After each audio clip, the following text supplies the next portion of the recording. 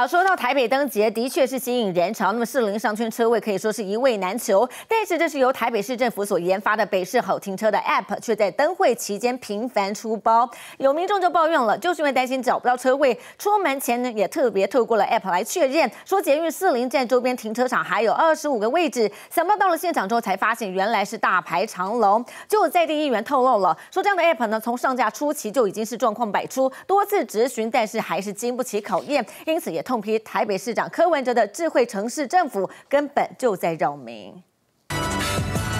台北灯节是林盛大登场，就怕满满人潮，车位难求。有民众用了市府开发的北市好停车 App，却没想到反而被误导。实际来到士林捷运站旁边的停车场，我们打开北市好停车的 App，上头呢其实其实就可以显示现场还有几个车位。不过呢，我们看到车辆进进出出，多少还是有一到两个车位的误差。但有民众反映，在灯节开幕的第一个周末，这个落差更大了。投诉民众二月十二号使用。北市好停车确认还有二十五个车位，没想到到了现场，不止车位已满，还大排长龙，没节省到时间，反倒花了大把时间排队。那一天因为附近有大型活动，所以车辆进出比较频繁。是。那第二个部分说，呃，那天我们是有查到说，那个市里前站的那个停车场，就是他传给我们的网络设定，他有做一些更改。嗯。那他其实，因为他更改完没有告诉我们。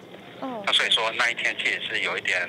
呃，断讯的，就是还是有一点可信度，虽然可能没有很准确，但可能一点偏差我还可以接受。但希望政府可以尽量改善啊。当然会不方便啦，不过我觉得这是一个参考值，因为它这个异动经常是很频繁的。资讯不准确就当参考用，但让在地议员不满的是，北社好停车 App 不是第一次出包，已经有咨询过了，那个时候呢，其实状况百出。